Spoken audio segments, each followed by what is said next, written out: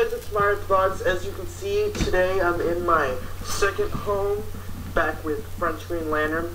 And for today I have this. This is a 1999 Nerf Ball Blaster. It's very similar to the Reactor, but it has a couple of differences. It lacks the grip on the front. Instead, it has a vertical grip right here, where it extends.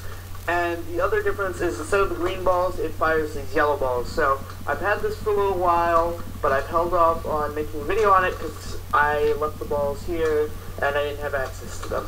So I'm going to load both of them.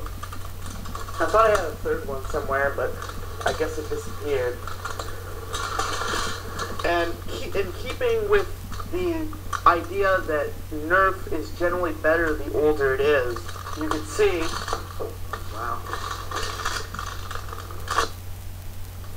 that it's actually kind of powerful. Now it's difficult for me to fire this without standing up. I'm going to be honest, it takes a lot of movement range, but and, and also making sure that it still stays on camera.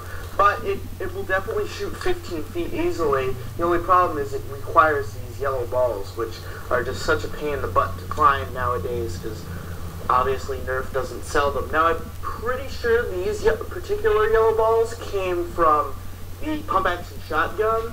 So if you have those, I'm pretty sure they're nearly identical to the old Nerf balls, and you can use those for not only the, the Nerf ball blaster, but any of the older ball blasters that would use the yellow balls.